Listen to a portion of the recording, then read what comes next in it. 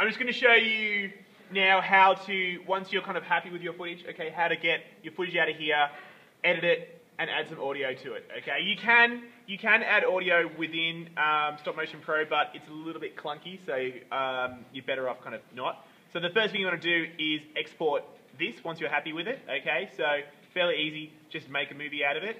Um, make it an AVI that's compressed. Okay, you've got a few other options, but that's going to be the best one, again, for these computers. That's kind of what we have to do. Um, and then just export it. Um, save it in your Dropbox. Okay, always save everything into your Dropbox, just in case, again, you move computers or something. I'll, I, can, I can check it out. So it'll only take, I don't know, a minute. It'll export it. It'll put all the frames together. Uh, again, here's your frame rate. So if you want to change that before you export it, again, more frames a second, the faster it will run, the more frames we use, but the clearer and kind of more, um, the, the, better it'll kind of look. So once we've exported that, okay, we're done. You want to open up Movie Maker. Now, you'll get this problem on these computers.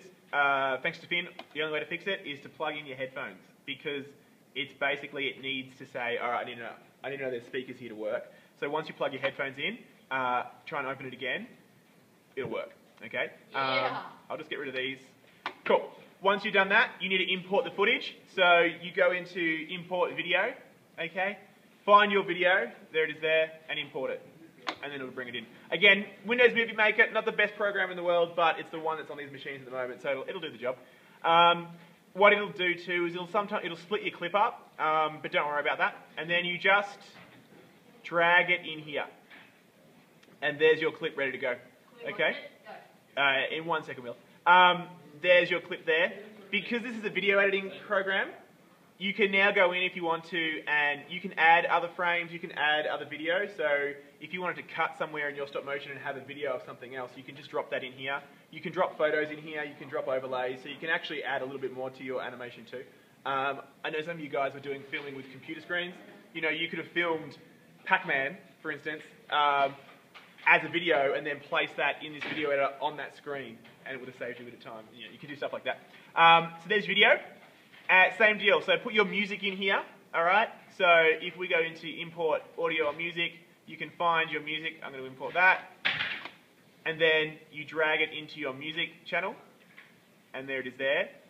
Again, you can trim this to wherever you want it. If there's a certain part of that track you want, just trim it to where you want it to go and drag that there.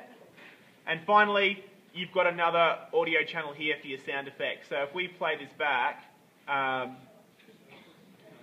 you probably can't hear it obviously, but uh, it'll be playing that music back and that's it. So if you want to go in and have the sound of that chain moving, have the jumping sound, having explosions, just find those sounds or record them yourself, record an explosion, import that as a video, as an audio, and then drop it you know, in the right spot here.